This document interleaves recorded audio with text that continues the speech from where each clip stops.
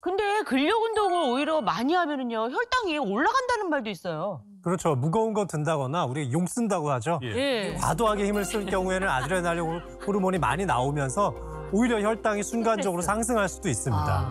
그러니까 너무 과한 힘으로 운동을 하는 건 좀 주의가 필요하겠습니다. 용수 좀 합시다. 네. 자, 이번에 3위 과연 어떤 운동인지 영상 보시죠. 혈당 높이는 최적의 메뉴 촬영장 밥차 등장이요. 역시나 실험을 핑계로 열심히 먹어보는데요.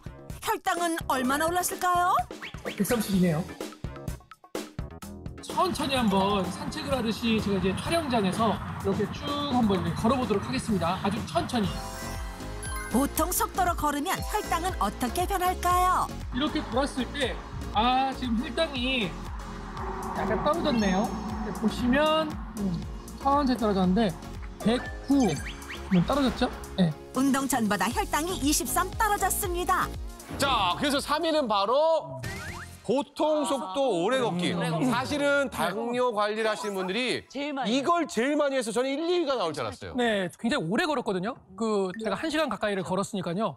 정말 보통 속도로 천천히 이제 뭐 산책하듯이 걸었는데 야 이렇게 많이 걸었는데 이 정도밖에 안 떨어져라는 느낌이 들었었어요. 네. 그래서 효율성으로 봤을 때는 좀 떨어진다 라는 결론이었습니다. 제가요 저런 걸 많이 했잖아요. 네. 한 시간 한 시간 반씩 막 열심히 울면서 걸었어요. 그 정도로. 근데 발목만 아프더라. 고 맞습니다. 맞아. 사실 우리가 똑같은 시간에 운동을 해서 효과를 보기 위해서는 가성비가 중요하잖아요. 네 맞아. 그러기 위해서는 우리가 그냥 천천히 걸어서는 크게 효과를 보기가 어렵습니다.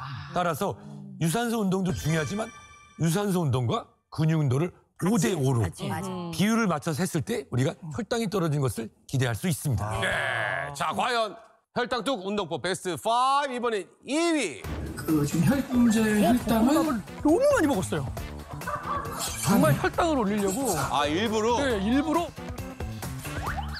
혈당을 올리기 위한 피나는 노력. 자전거를 사놨거든요. 방이에요? 어, 방이에요. 얼마나 제 침실에 지금 놔뒀습니다. 얼마야? 그래서 지금 저거를 타는 거예요. 제가 네. 지금 인터벌을 했는데요. 안 올랐어요. 탔는데 어, 실내 자전거를 3분을 탔어요. 아, 고강도 3분을 인터벌. 쉬고 또 3분을 타고 또 3분을 쉬었어요. 그리고 3분을 타고 이렇게 해서 3세트를 진행을 했습니다. 숙취는 짠. 예. 어, 뭐야? 시스코르 많이 남았어요. 와. 와, 2위는 그래서 고강도 인터벌 운동. 와, 이거 많이 떨어졌네요. 예, 아니 저때 좀 두 가지를 놀랐던 게 저는 밥을 정말 많이 먹었거든요. 네. 배가 터지도록 먹었는데 근데 저거밖에 안 올랐나 이게 조금 놀라웠고 그리고 두 번째는 10분 동안 정말 전력으로 탔었어요. 그래서 인터벌 운동을 고강도로 해야 된다라고 해서 3분을 하고 조금 쉬었다가 또 다시 3분을 하고 해가지고 3세트 정도를 했는데 굉장히 그 짧은 시간에 많이 떨어진 거죠.